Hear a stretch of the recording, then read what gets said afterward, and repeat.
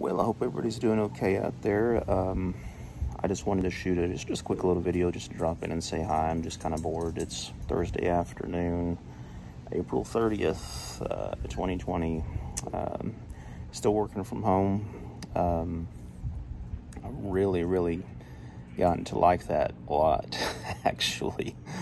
Uh, I was talking to my boss the other day, and actually, I think he feels the same way too. That uh, I'd be perfectly fine with working from home uh, here on out. Um, you know, if we could something that we could swing, but you know, who knows? You know, um, I know a lot of the people in the office are eager to go back, and I know there are some positions up there where. Um, uh, it is easier to be at the office. You know, a lot of people still use a lot of paper files and things like that. But uh, in my opinion, though, I think the vast majority of us are getting our job done.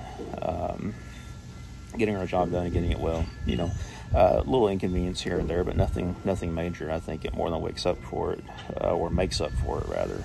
Uh, being able to be at home and be around uh, these little guys.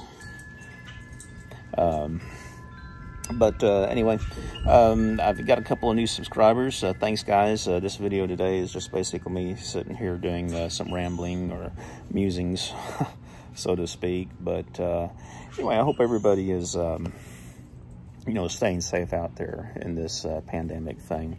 you know, there's a lot of talk of states opening back up again. you know, like I said, people at my job are wanting people to, well, they're wanting to go back to work. And I'm like, has, is there a vaccine I didn't know about? Uh, has there been some type of defined treatment on this stuff that I didn't know about?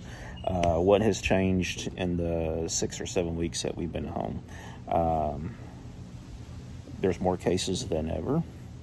Um, I mean, I know that the curve is flattening somewhat, uh, but still, it's still a, a dangerous situation. So, um, either way, um, we'll see what happens. You know, if I have to go back, I got to go back. That's part of it. But I tell you, this is really, um, this time at home has really shown me that, um, like I think it probably has a lot of people, that um, it would be nice. It'd be nice if this is something we can do all the time. And it's not all this. It's not all sitting out in my backyard.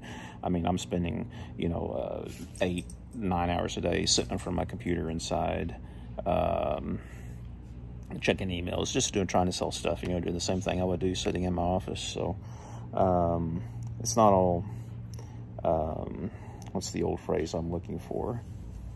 It's not a bowl of cherries, but there's a better one than that. I can't remember what it was. It was kind of the southern variant. Well, it's not. It's not a a bag of chips with a coke. I mean, it, it is work. It, it is it is work when we're when we're sitting here working at home. But uh, anyway, um, I'm trying to think of some topics to do on some next videos. I haven't done any really EDC stuff uh, in a while, so I might do a couple of things on that. But that is just so overloaded. Everybody does EDC, as I'm sure you can tell from my last couple of videos. You know, I've um, uh, really been into uh, radios again uh, shortwave radios, mostly listen to shortwave, listen to AM bands at night, things like that. That's an interesting little hobby. Um, you know, I've got about um, maybe a dozen different interests that. Um, dogs just heard somebody and are running inside. I, I, have maybe a dozen different interests throughout my life. You know, I'm almost 50 years old that uh, I cycle through. You know, sometimes it's pool and billiards, sometimes it's uh, knives, edge type things, EDC stuff, you know, of course, bang bang items, um, you know, outdoor stuff, radio, um, blacksmithing. I don't know if you guys have seen my old blacksmithing videos, uh, musical instruments, things like that. I've got to do stuff like that to keep busy. Um, I'd love to retire right now. but I can tell you if I did, it would definitely be a challenge keeping busy because uh, you know that's that's something that um, you know my mind always has to have something going on. So, um, but anyway, I hope everybody's being safe out there. I just wanted to shoot a quick one, just drop in and say hi to you guys. Uh, thanks for subscribing. Thanks for liking. Uh, thanks for the new subscribers I've had here recently. Uh, yeah, and I'll, uh, here in the next couple days, it's Thursday, so I'll do something over the weekend for sure, something like that, put up an interesting video or something. Um, you know what I might do is talk about, um, I do like sentimental stuff. You guys, I don't know if you've seen my video called this old knife, but if you haven't, check it out. It's pretty neat. It tells the story of a pocket knife that I've had since I was a kid. Um, and uh, I might do something along the lines of that, or who knows? You know, we'll see what happens. But either way, thanks again. Take care. Yeah. One thing I wanted to add, I just shot that other video. I forgot to mention my awesome haircut that my wife gave me. Check that out. I was bald.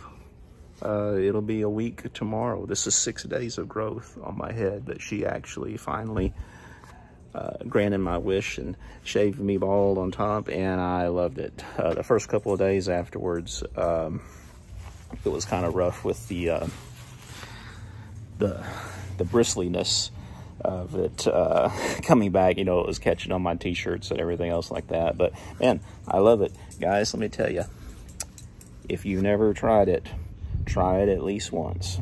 You'll like it. So from now on, when she cuts my hair, she's just going to use no guard and shear me like a sheep and then let it grow out for two or three weeks and then she'll do it again. Take care.